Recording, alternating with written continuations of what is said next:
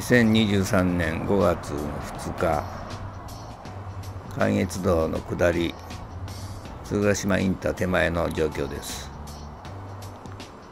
ほとんどノロノロ運転で止まったり徐行したりの繰り返しが続いています。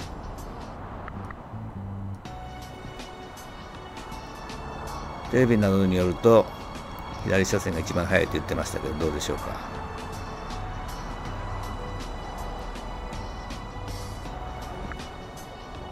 上りは順調ですね。